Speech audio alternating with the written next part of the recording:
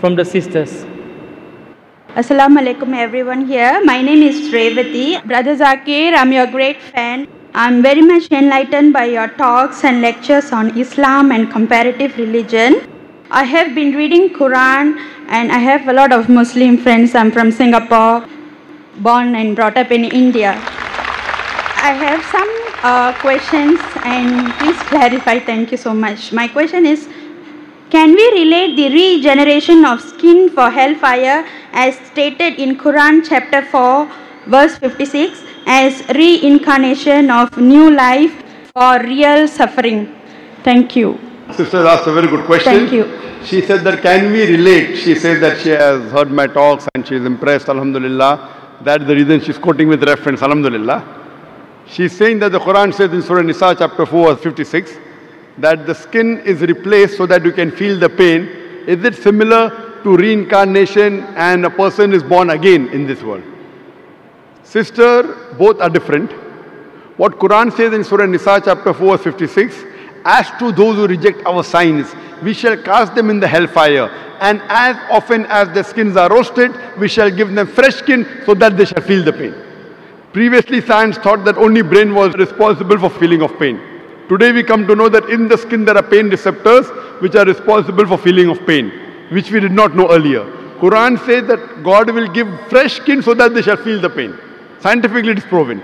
Now, for example, Almighty God is just. Quran says in Surah Nisa chapter 4, 40, Allah subhanahu wa ta'ala is never unjust in the least degree. That means he's very just. For example, history tells us that Hitler incinerated 6 million Jews. Today, if our law catches Hitler, what punishment can you give? Maximum you can give is kill him. That will take care of one. What about the remaining 5,999,000 people that he has killed? In the Akhirah, in next life, Almighty God says, as to those who reject our signs, we shall cast them in the hellfire. As often as the skins are roasted, we'll give them a fresh skin. If Almighty God wants to incinerate Hitler six million times, he can do it. Twelve million times, he can do it.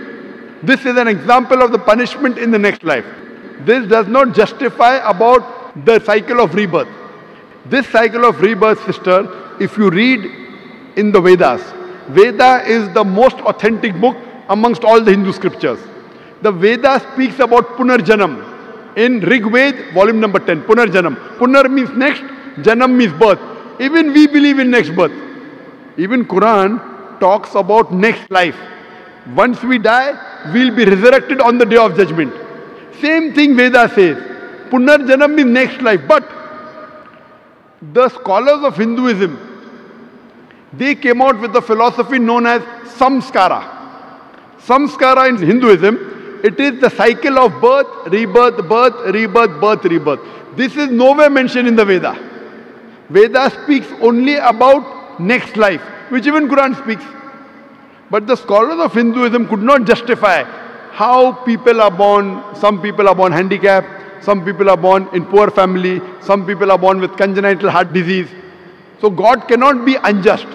So to justify the justice of God, they come with a new philosophy called as samskara, cycle of birth, death, birth, death. Maybe in their previous life, they did some wrong deed, therefore they are born handicapped. This is the philosophy of the Hindu scholars, not of the scripture. Your Vedas are very explicit, punarjanam, next life. Even Quran says you come in this world. Allah says in the Quran in Surah Mulk chapter number 16 verse number 2, Allazi khalaqal mauta wal hayata. It is Allah who has created death and life to test which of you is good indeed. So this world you have only life once. Once you die, Almighty God will resurrect you on the day of judgment. That's what the Vedas say. But the Hindu scholars, they could not explain why some children are born deaf, some dumb, some with heart disease, some in a poor family. Because they could not justify, they came with this philosophy which is not mentioned in the Vedas. Same way if you read Bhagavad Gita, Bhagavad Gita says that how does a soul change body? How does a caterpillar when he goes to a blade, he jumps onto a new blade? Same way the soul changes into a new body. Doing once we have no problem, but doing multiple times is totally wrong. Now I will give the explanation. What does Islam has to say that? Now you'll ask me the question, okay, if the Hindu Pandits are wrong, what is the explanation in Quran? In Islam, As I mentioned, Allah says in Surah Mulk chapter 16 verse number 2, Allazi khalaqal mawta wal hayata. It's Almighty God has created death and life to test which of his good indeed. So this life, sister, is the test for the hereafter. Every year when you appear for the examination, the test paper keeps on changing, right or wrong? You can't have the same paper.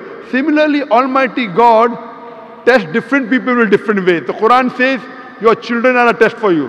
Quran says your wealth is a test for you. So Almighty God makes some human beings born poor, some rich. For the rich people, they have to give zakat. In Islam, every rich person who has a saving of more than 85 grams of gold, he or she should give 2.5% of that saving every lunar year in charity called as zakat. Poor man, there is no zakat. He gets 100 out of 100 marks in zakat. The rich man, if he doesn't give zakat, he'll get zero. If he gives half zakat, he'll get 50%. We say, Are garib hai, are poor man. That poor man is good. In Akhirah is passing. So poverty is a test, wealth is a test. Whether do you follow the commandment of Almighty God? The Quran says even your children are a test.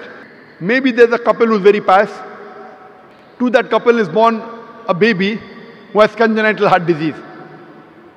That baby has done no sin. Quran says every child is born as a masoom. Every child is born sinless. It is a test for the parents.